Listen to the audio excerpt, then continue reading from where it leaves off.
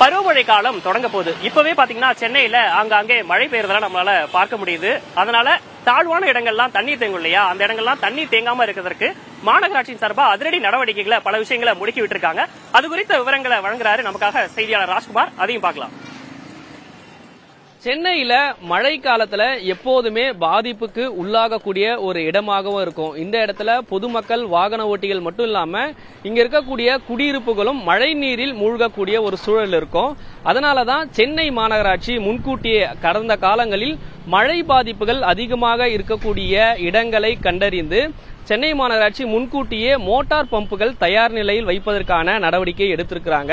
அப்படி பார்க்கும்பொழுது திருவிகா நகர் மண்டலத்துக்கு உட்பட்டிருக்கக்கூடிய இடங்களில் பதினோரு இடத்தில் சென்னை மாநகராட்சி சார்பாக ஹண்ட்ரட் ஹெச்பி மோட்டார் பம்புகள் முன்கூட்டியே தயார் நிலையில் வைப்பதற்கான நடவடிக்கை எடுத்திருக்கிறாங்க.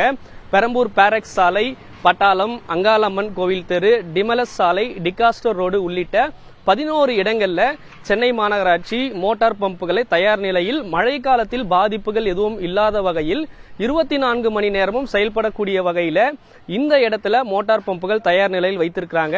கடந்த காலங்களில் இந்த பகுதியில் மழை நீர் புகுந்து பொதுமக்களுக்கு பெரும் பாதிப்பும் சிக்கலும் ஏற்பட்டது.